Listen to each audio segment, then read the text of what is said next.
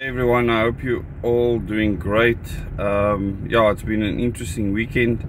Lots of thoughts going through my mind, and this morning, as I was getting ready to uh, go to site at Coburg, uh, I was thinking of all the changes that's taking place in the world right now. And you know, us as a family, we made a decision in 2017 to sell many of the things that we don't need uh, to build up a nest egg, which served us in in in a really good state during the the pandemic period uh, where business was shut down and only certain people look after.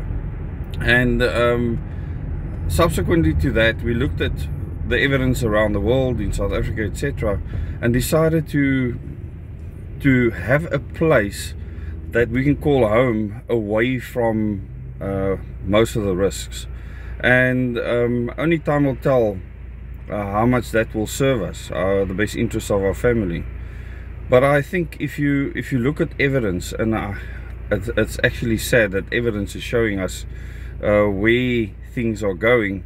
If you look at evidence and you are aware of what's happening in the world, what world elites are deciding for us, what governments are allowing them to do to them through funding, etc., and and their policies, then if you want to remain free, you actually have no choice.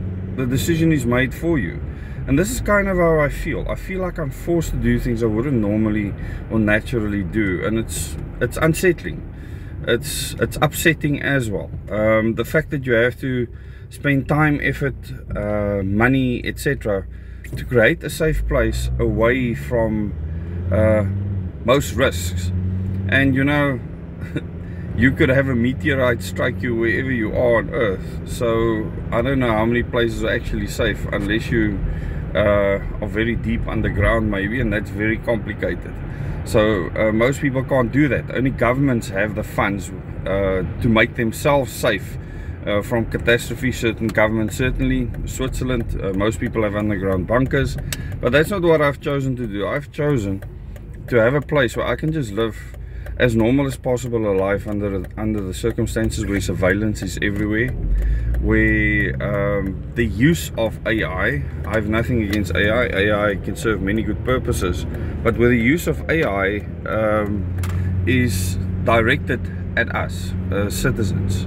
And you know when governments use things against their citizens like the police like the military like our government has done in South Africa um, you need to be prepared for that in future because that because they were allowed to do that they'll do it again. And next time it'll be worse. It's very much the same as a criminal. When they do something the first time it might be more difficult but the next time it's easier to either kill or rape or maim or whatever the case may be or, or even steal from people. So our government is going to be emboldened like you cannot believe and they speak like that in the media right now. And they feel like they're on top of the world and don't listen to the petty politics in between. When it comes to the United Nations agendas, they will implement them like one swan song. And uh, even people that you see as a resistance to the current uh, GNU government will do exactly the same.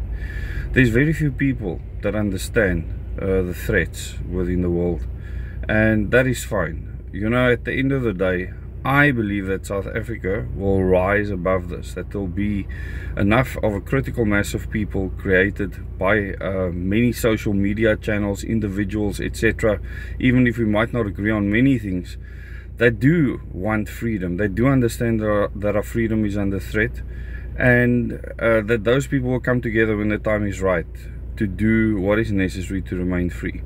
So I trust in that, and um, maybe my trust is misplaced but up until now um, just looking at the people that I have met around the country uh, that are special, unique, that understand, that, that search, that try to, to find new information, I trust that my family will be safe and that we will be fine. Thanks so much for watching this video. Please subscribe to this channel if you have not yet and go watch our past videos. Please consider joining as a member and watching the membership videos.